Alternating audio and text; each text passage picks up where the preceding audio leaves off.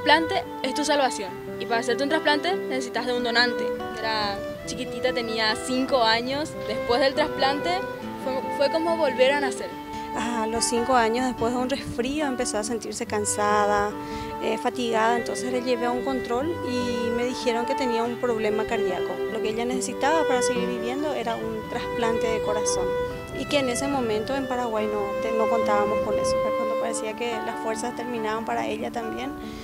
Ahí aparece un donante y con ella la esperanza de que Tati siga con vida. Te despertás y te sentís tan bien que de repente pensás, no soy yo, decís, porque no era así. Cuando se dio la cirugía, obviamente me quedé afuera, ¿verdad? Después cuando ella despertó, dos días después de la cirugía, empezó a llorar porque no me encontraba. Entonces yo entro con ella, le abrazo y lo primero que ella me dice es, mamá, ¿por qué me dejaste si yo no puedo vivir sin vos? A la mañana voy al colegio, de lunes a viernes, y a la tarde vengo a practicar en el Comité Olímpico o si no voy a la Asunción Golf Club y de paso voy al. Comité Olímpico.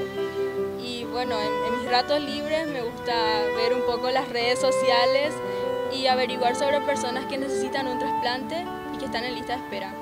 Si, si me queda por ahí cerca, voy, visito a esas personas, le doy un poco de fuerza porque lo más importante cuando una persona está pasando por este tipo de situaciones es no perder la esperanza.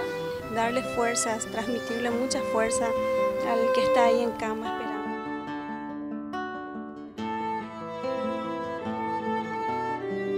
una chica con mucho empuje, que ha pasado una, una, situación desde muy chiquita y sobre todo con un trasplante cardíaco, o sea, con todo eso lo que lleva adelante y lo que implica. es una relación que tenemos también y además porque al tener un trasplante es como un par y es como una hermanita menor, sería una cosa así. Pero la, la, la verdad que es, es, la quiero mucho y es, es parte de mi familia.